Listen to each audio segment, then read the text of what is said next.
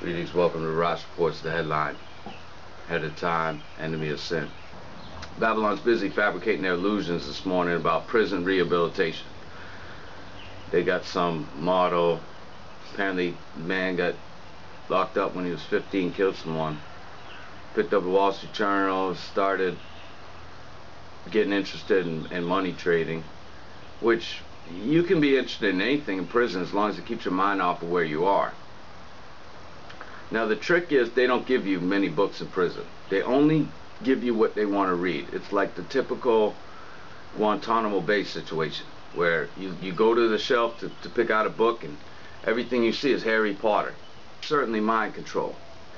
You know, what we read is very influential onto us. Prison didn't rehabilitate me, it made me worse.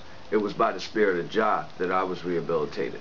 When I got out of prison, I was worse than I got when I went in. And I won't even go into any details. Let me tell you right now, I am fortunate. It's only by the will and the spirit of Jah, the Redeemer, the merciful one, that I am here, forever in debt to His Emperor Majesty.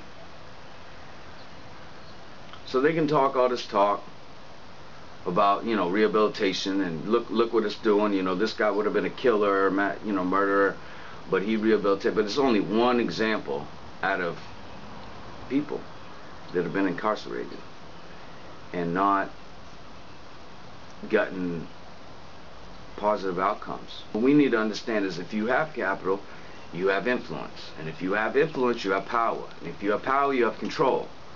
And so on and so forth.